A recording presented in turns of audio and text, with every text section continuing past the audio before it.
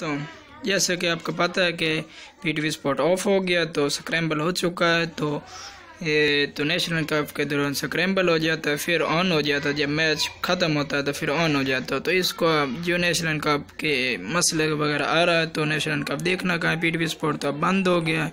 तो national cup देखने के लिए क्यों, कौन सा चैनल तलाश कर रहे हैं।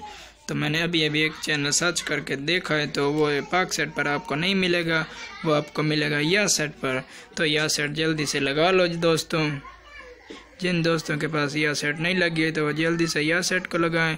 तो उस दोस्तों चैनल का नाम है Watan H D two. Watan H D two है, उस पर फ्री में नेशनल कप लाइव दिखाया जा रहा है।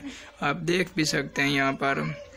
टी पी एस की नोट कर लें, बारह एक सौ उनचास है और सताईस पाँच सौ तेरह पल्टी कर ले तो ये आप देख सकते हैं फ्री में दिखाया जा रहा है मैच तो दोस्तों पी टी स्पोर्ट को बोल जाए। पी टी स्पोर्ट क्योंकि बंद नेशनल कप के दौरान बंद हो जाता है। जब मैच स्टार्ट होता है तो बंद हो जाता जब मैच ख़त्म होता तो फिर दोबारा ऑन हो जाता तो दोस्तों, जल्दी से वतन एच डी टू को लगा लें। ये आपको दो फीट पर भी मिल जाएगी और चार फीट पर ही और पाक सेट के साथ भी मिल जाता है। तो ठीक है, अगर आपको नहीं पता तो मेरी पिछली वीडियो देख लें और इसको आसानी से सेट कर लें। ठीक है दोस्तों?